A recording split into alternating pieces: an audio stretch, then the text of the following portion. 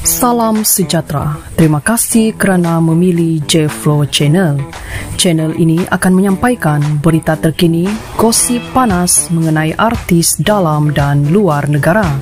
Sebelum kita mulakan, jangan lupa tekan butang subscribe untuk terus mendapatkan video terbaru selepas ini.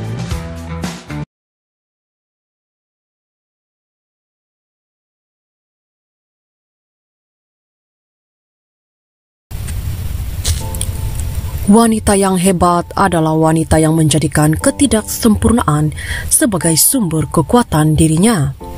Caption yang dimuat naik juga turut menjadi perhatian netizen kerana ramai menganggap ia amat sesuai dengan pribadi Amira Rosli yang sentiasa disenangi ramai. Meskipun sibuk bekerja sebagai seorang pelakon dan pengacara, ia tidak menghalang Amira turut untuk sentiasa tampil jelita dan berseri setiap masa. Malah ada juga yang bergurau dengannya menerusi ruangan komen dengan mengatakan bidadari milik pelakon Amar Barin itu kelihatan amat cantik. Sebenarnya selepas balik dari Mekah, Mira belum bersedia untuk bertudung.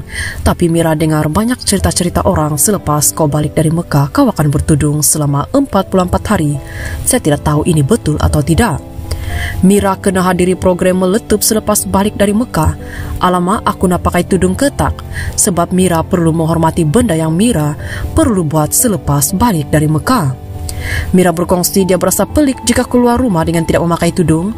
Dalam masa sama dia tidak berasa yakin kerana tidak tahu untuk berfashion jika mengenakan hijab. Isteri kepada Ammar itu berkata bila berhijab di jalan yang betul dan percaya dengan rezeki di tangan Allah, rezeki yang diberi akan lebih berlipat kali ganda.